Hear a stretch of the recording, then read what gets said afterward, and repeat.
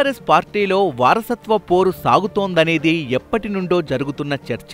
కేసీఆర్ వారసుడి రేసులో తన కుమారుడు తెలంగాణ మంత్రి కేటీఆర్ ఉండగా తన మేనల్లుడు హరీష్ రావు కూడా ఆ స్థానం కోసం ఆశగా ఉన్నాడు. ఈ మధ్య కేసీఆర్ కుమార్తె కవిత కూడా కేసీఆర్ తర్వాత తనే అన్నట్లు వెలుగులోకి వచ్చింది.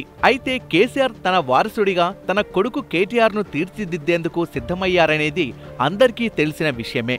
ఈ క్రమంలో తన మేనల్లుడు మంత్రి హరీష్ రావును ఆయన సైడ్ చేస్తున్నారని పొమ్మనలేక పొగబెడుతున్నారని ఎప్పటి నుంచో ప్రచారం జరుగుతోంది.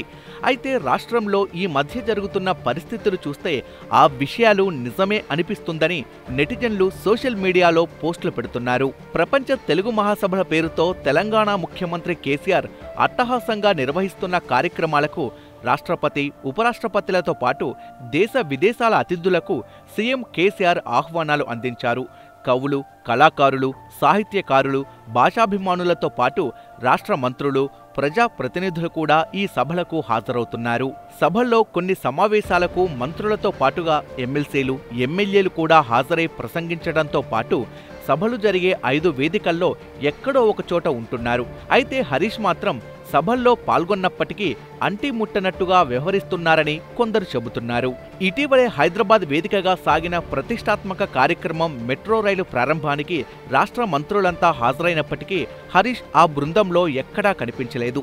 దీంతో హరీష్ను కావాలనే దూరం పెట్టారనే ప్రచారం జరుగుతోంది. ఈ చర్చోపచర్చలు ఎలా ఉన్నప్పటికీ మంత్రి హరీష్ రావు మాత్రం తన పని తాను చేసుకుంటూ పోవడం గమనార్హం.